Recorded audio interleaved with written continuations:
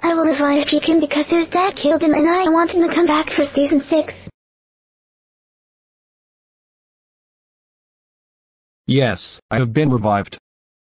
Deacon, how dare you get revived by Rosie? That's it. Rosie go home, while I ground Deacon. Deacon, how dare you get revived? You know everyone hates you. That's it. You're grounded until you die. When we get home, you will watch porn at 5.